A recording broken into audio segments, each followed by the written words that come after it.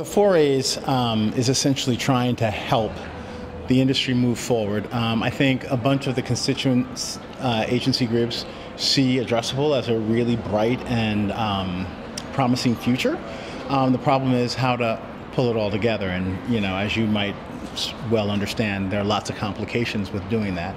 Um, there are different systems, different M- MSOs. There are things that are non-MSOs like satellites, um, and then other sort of vehicles or platforms to deliver addressable. They don't all speak the same language. Um, there are companies that are out there that help them actually manage the delivery, and they're all different, and those systems don't talk. So I think there's a lot of work to be done.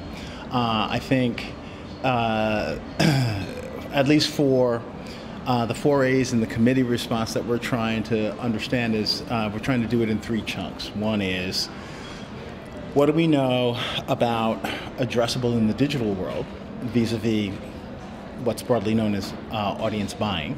Um, and what are any best practices that we can sort of bring to bear from sort of what we know about how addressable gets done in the online environment? Try and do that by the summer. Um, by fourth quarter, um, we're going to try and work with um, the delivery platforms, the MSOs, the satellite people to sort of really understand how is it that we can make it easier for agencies and advertisers to access addressable homes um, is there one, maybe a couple of different platforms that we can use so that we can look at different dynamics within different systems all at the all at the same time? Because right now it's this conversation, then this conversation, then this conversation, then this conversation. And it's a lot of manual labor to pull that all together. So automation represents a really big opportunity in terms of us being able to um, actually grow this area of the industry um, much more quickly. Um, and then the third area is, um, you know, because these things have identifiers, either, you know, a set-top box in a home, or a cookie, uh, or a device ID. Um, when you sort of have the right sort of uh, data systems, you can be you can begin to cross-pollinate those universes, and so you can talk to a person um, in an addressable uh, TV platform. You can talk to um, that same consumer um, in the audience buying universe, and there are lots of ways to sort of connect those dots uh, anonymously. Um, no PII, of course, um, but that re- represents yet another step um, that uh, I think agencies and marketers have to connect with consumers in the right way right? So it's all about surrounding consumers with the right touch points. I think um, pushing addressable helps us um, do that in a much more um, credible, um, deliberate, um, and positive way. So the brands want to reach the right people. You want to do that for the brands. What about the broadcasters and the publishers? They, are they motivated? Are they cooperating? Is it in their interest? Where does it stand on the sort of the sell side? Um, I think there is a varied response. Um, different people have different perspectives about what should or should not be.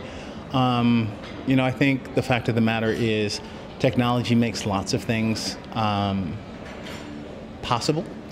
Um, and they need to remember that consumers do things because they can. And if we don't put the consumer first and understand how we need to all fit into their needs, um, agencies, advertisers, and publishers alike, right? Um, everyone loses opportunity over time, and things become obsolete, and consumers move on. So, I mean, I think uh, some of the publishers should have uh, more of a vested interest in how these elements actually come together. I think addressability, I think first and foremost, will be in every medium. I'm already seeing a couple of things. Um, so I'm talking to a company right now called ShopAdvisor, and um, you know one of the things that they're trying to do is build interactivity layers on top of flat print, um, and then um, take it to a, new level in sort of the um, digital versions of magazines.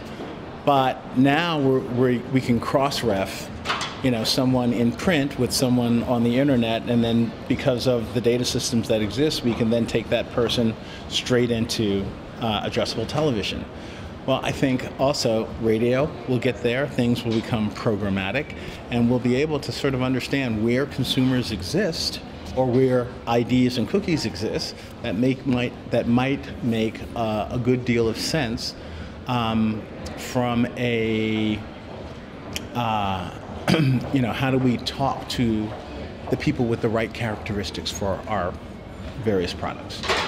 So I think um, we'll see addressability spread across all media. It will go uh, somewhat programmatic.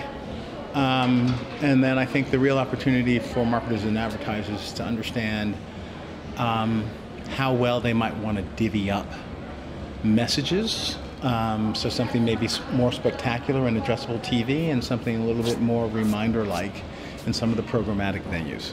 We'll see. Time will tell.